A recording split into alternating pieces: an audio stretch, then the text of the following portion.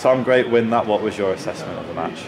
Uh, yeah, good for um, good throughout. Really, I think everyone played well. Everyone did the part, um, and just we just did what we said we were going to do in training. Just complete well and just just finish it off, get it, get kicks in. So yeah, it was, it was good. Was it a good reaction, particularly considering the Rochdale game a few weeks ago? Yeah, Yeah, I mean Rochdale, we went well. We went well for like 60 minutes, and then just took our foot off the gas, which was disappointing. But we know what we produced today is there, so it's good to do it.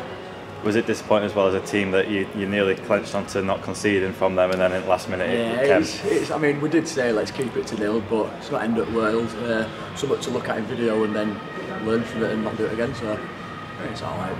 From your perspective, how does it feel to get two tries today? I mean, yeah, it's, it's always good to score. First one were good finish. Second one was a bit lucky, but you've got to take chances, haven't you?